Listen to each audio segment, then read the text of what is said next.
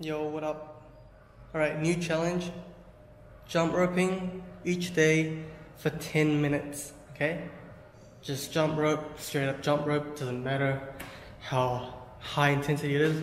Just jump rope for 10 minutes, day one, starting now. Alright, so I'm gonna track my journey, my jump rope journey, just for, just wanna see how long I can maintain this new challenge, okay? So, a hundred, no, no, no, no, no. 10 minute of just jump roping, that's it. Nice and easy. Okay, I got my timer ready for 10 minutes. Let's go.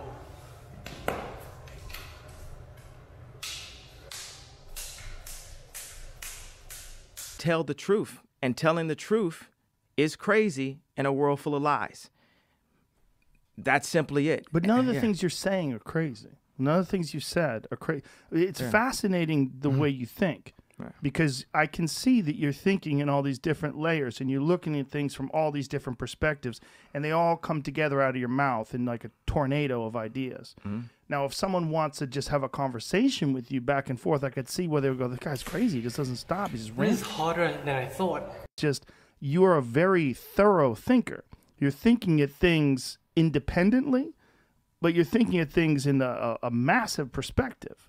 Now, who convinced you that that's bad? Is it have, have you always been this way, or were you less? Is it was it less manageable before? Did you have issues with it before? Yeah, I believe before I found Christ and gave my life to God, I would try to lean on my own understanding. And that's a, the universe is like a, a black hole of information. What do you Like- mean by your own understanding? meaning when people ask Einstein said you're the smartest person what would you like to know he his, his Einstein's response was I'd like to understand the mind of God meaning meaning God is all knowing and we can only know or see and for me as a visionary we can only know or see what God allows us to see and what he feels we're ready to see and understand 10 minutes. Okay, that was it. 10 minutes of jump rope. You don't realize how long 10 minutes is.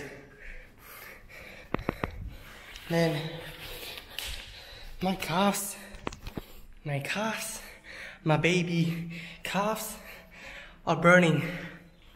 Alright, that's it. 10 minutes of jump roping.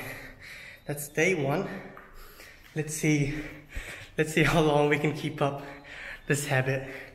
But we're just getting started. Day one. Let's go.